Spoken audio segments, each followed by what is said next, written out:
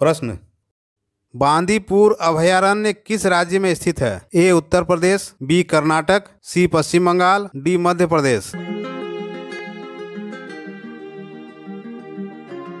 और इसका सही उत्तर है बी, कर्नाटक। प्रश्न, भारतीय राष्ट्रीय कांग्रेस के प्रथम मुस्लिम अध्यक्ष कौन थे? A, Badruddin Tyab, B, Mohammad Ali Jinnah C Maulana Abdul Kalam Azad, D M A Ansari.